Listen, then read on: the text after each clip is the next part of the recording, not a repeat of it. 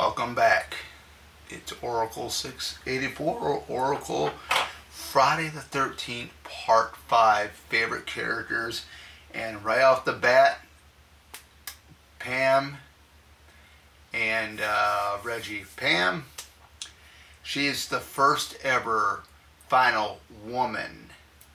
Not the final girl, final woman. I mean, you probably classify her as a final girl, but she's actually the adult here. Uh, fun character. I mean, gorgeous. All of it.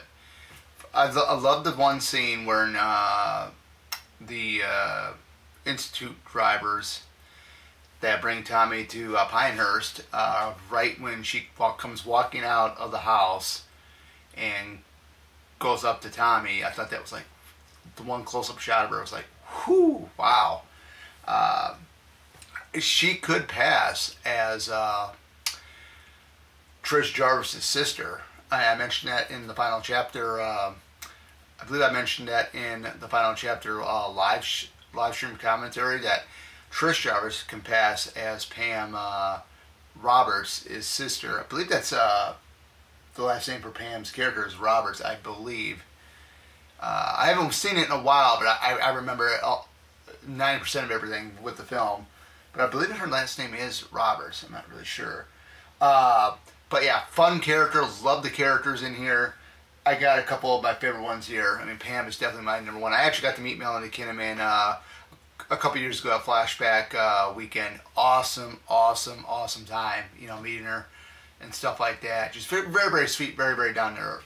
So uh, next one we got is uh, basically uh, I wouldn't say maybe, yeah, maybe I'd probably say her partner in crime, Reggie the Reckless. Uh, Shavar Ross. Uh, this character is, besides Pam, is my favorite character in Part Five. Besides Pam, so uh, the just you know the coolness, the the uh, the likableness of him, and especially what he would do, and you know try to save Pam from uh, the copycat Jason, you know, which we all know is Roy Burns uh, was amazing, especially the whole tractor scene.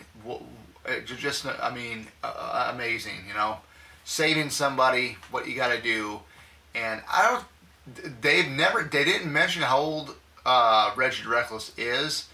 I want to say he's got to be around like 13 years old or, or something like that. Either 13, maybe 14. Kind of find it hard to believe he might be 12. I don't. I'm not really sure, but. Uh, yeah, definitely a fun, fun, loving character. Uh, you know, him and Pam are by, by far my two number one favorites in, in this film. Uh, the other one we got is uh, Officer Tucker, uh, played by played by Marco. John. Uh, a lot of there's, I mean, there's a couple of different moments I like in this film, like uh, right when they are on. I think it's not the highway, but it's like a road, and they're picking up dead bodies and put them in body bags, and he's just stand, uh, Tucker's just standing there. And right when Roy and the other paramedic pick up uh, the body bag with one of the bodies in it, uh, Tucker says, "What the hell's going on here?" And Roy says, uh, "You talking to me, Sheriff?" I, thought you were talking to me. No, Roy, you're okay. Get those get them out of here, like that. Uh, another great scene is with the mayor at, at, at the uh, the police station. Oh, that is epic. I laugh every time, especially when uh, Tucker is you know sitting there with smoking, I believe it's his cigar, and he says, "I know who it is," and the, the, mayor's like, "Who?" I what? I said, "I know who it is," and the mayor says, "Who?" And he, he goes on saying, "It's Jason Voorhees." it's, it, it's, it's funny. I'm just sitting down here. I'm, I'm, looking at the notes. Who's next? But great character as well. Uh, what makes the movie really even even better? What makes this movie even better? Ethel and Junior. Now I got to meet the late Carol uh, at uh, Flashback Weekend for the mini Friday the 13th Part Five reunion. I was originally going to go ahead and meet uh, Dick Wieand, but I I had previous before that I met uh, uh, gosh, Melanie Kinnaman, Deborah Boy, Deborah Voorhees, uh, I met those two first, and I was going to meet Dick Wieand, but something told me now is the time to meet Carol Locatell. Now is the time, and I'm so glad I did. Just a fun lady, you know, to basically talk to, and I even told her thanks for all the laughs in the film. Uh, sadly, she, she passed away, I believe, about a year, year and a half ago.